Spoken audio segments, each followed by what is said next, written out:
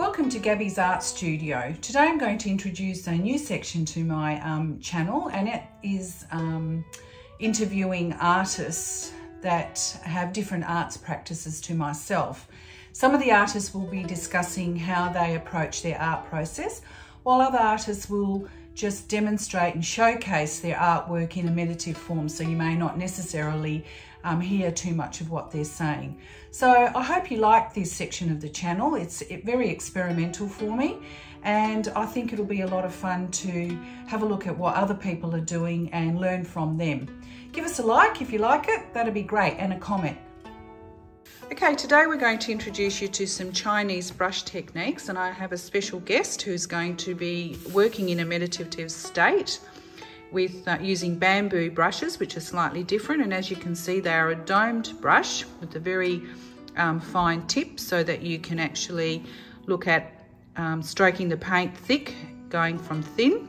So I'm just going to leave you observe what is happening.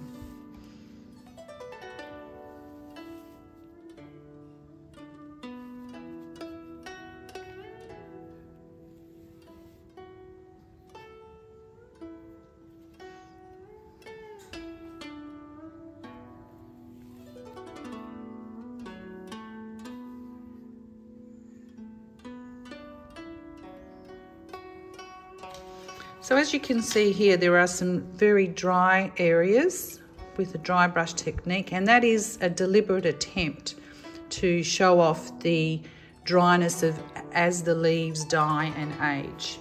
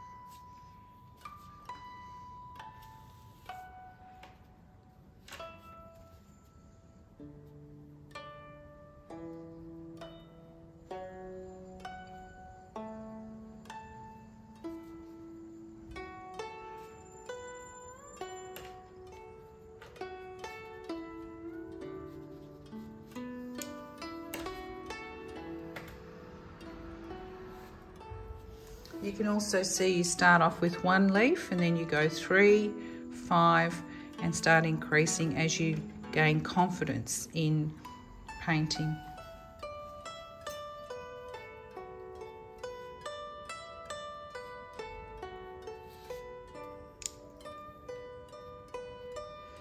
and changing the brushes. You have a smaller bamboo brush to create the details and then a bigger bamboo brush for the larger leaves.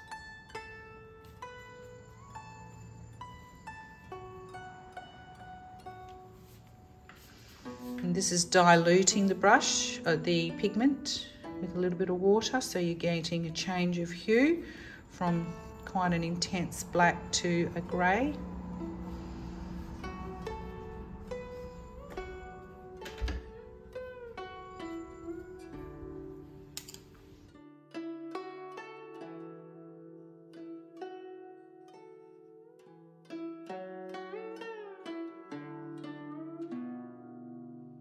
Okay, we have here another brush technique where you are loading the brush up with um, what's called charging the brush with pigment uh, using inks and we are using red cad and a little bit of indigo. So red cad, you roll your brush into the red cad and then tip it with a bit of indigo. And as you can see um, over here, is that the tip of the brush has created a very intense indigo and because it's bleeding into the rest of the brush, it's turning, with the CAD, it's turning into a lovely purple.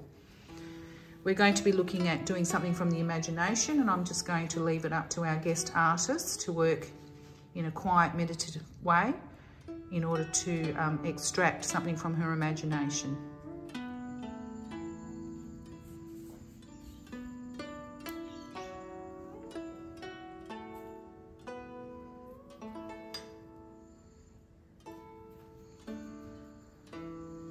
Paper we are also using is a Chinese rice paper. So when the pigment hits the paper, it's really difficult to change it. So you need to really concentrate on your mark making.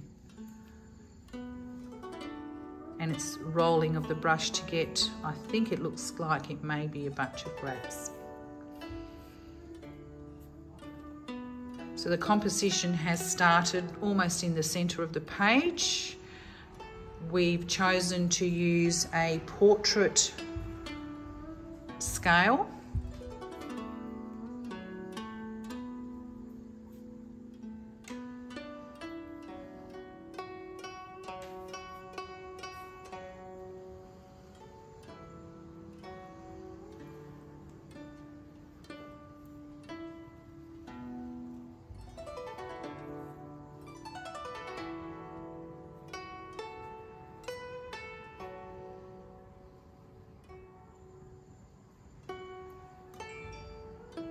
I will post the um, names of the paper, the brushes and the inks that have been used. And as you can see, it's a good idea to have little dishes where you constantly have the colours mixed up. Um, by adding a little bit of water, even if the colours have dried out, they will rejuvenate. Similar to what um, I've been using with Art Spectrum and watercolour pa uh, paints.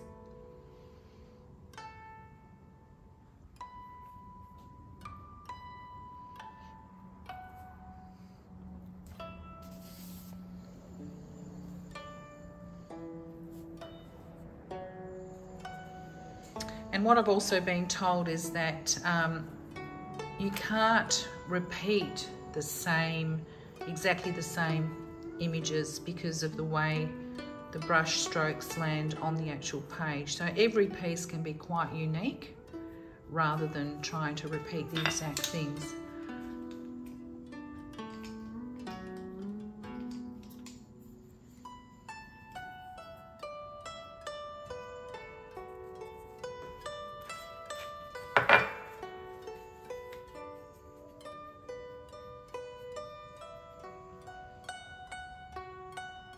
So now we're going to introduce a little bit of green and it's always a really good idea to have a little bit of paper on the side to test before you apply, especially knowing that once the pigment hits the paper, you can't change it.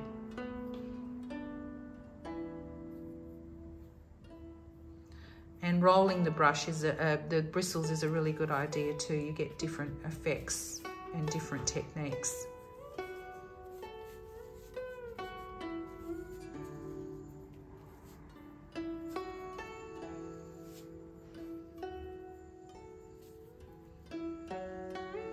A little bit of yellow to lighten it up.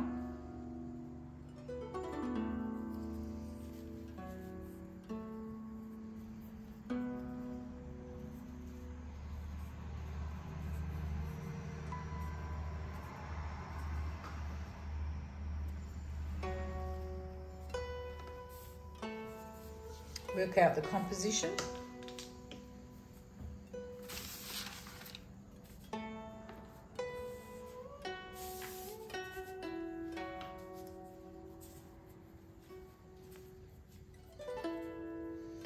That's quite a nice technique. The brush didn't have as much pigment, so you're getting that real sort of brush techniques in those leaves. It's great because it doesn't look contrived. All the mark making is original and um, sort of um, interesting.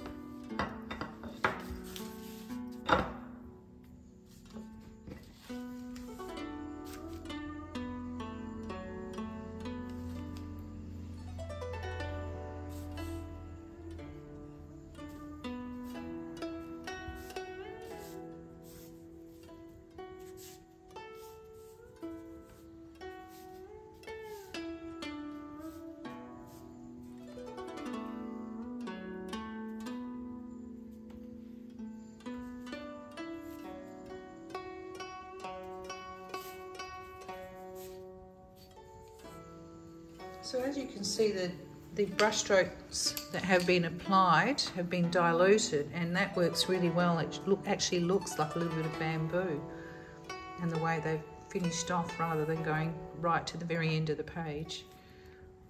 Just adding a little bit of contrast here.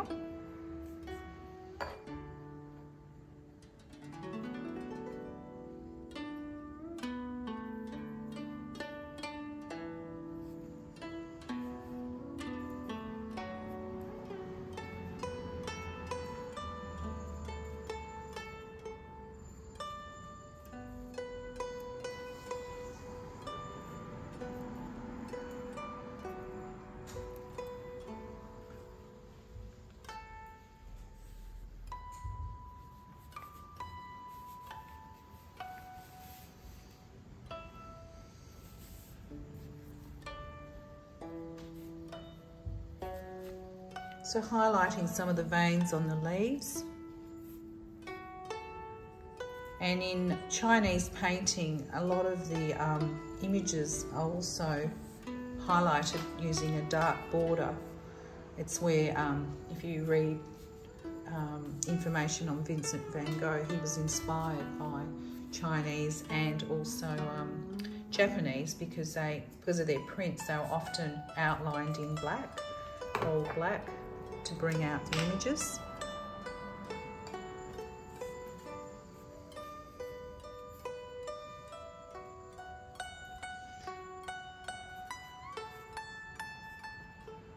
So these are little branches connecting up all the grapes, but they also look like a few characters that have been included in the work.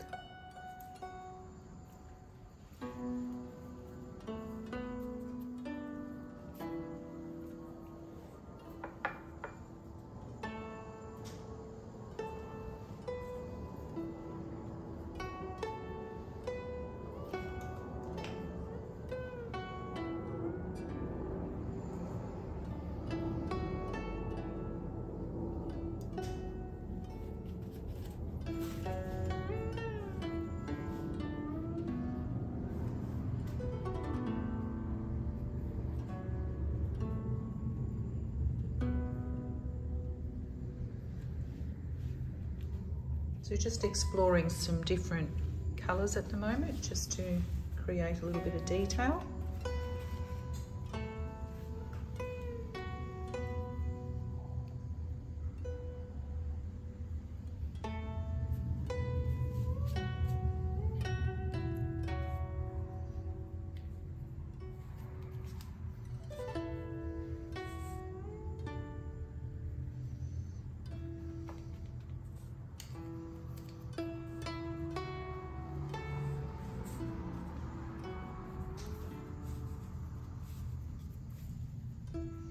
Interesting brush technique where the um, bristles have been fanned slightly.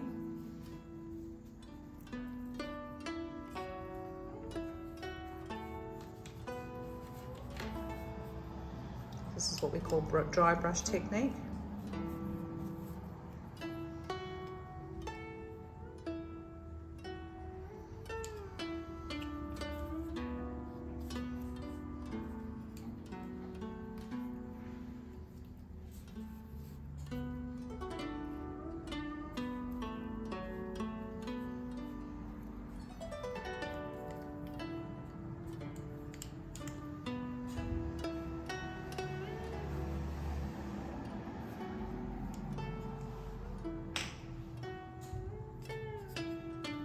Okay, what's happening here is the, um, the composition is being balanced out.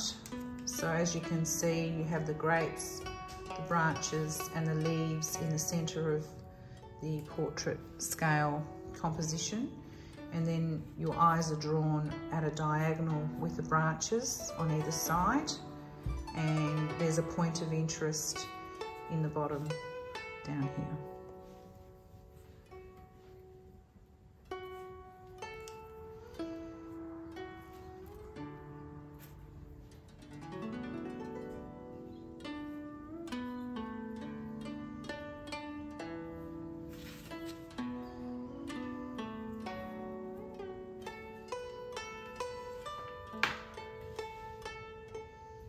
Think that's it. Thank you. So if you've liked this video, I'd like you to hit a like or appreciate a comment. Thank you.